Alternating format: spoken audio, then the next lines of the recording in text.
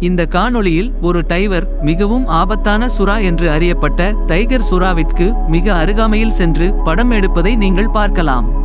ஆனால் அந்த சுறா டைவரை தாக்காமல் சாதுவாக செல்கிறது. டைகர் சுறா ஏன் டைவரை தாக்கவில்லை?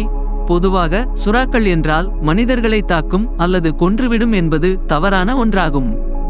சுறாக்கள் மனிதர்களை தாக்காமல் இருக்க டைவர்கள் என்னென்ன முறைகளை கையாள்கின்றார்கள் என்பதை அடுத்த காணொளியில் பார்க்கலாம்.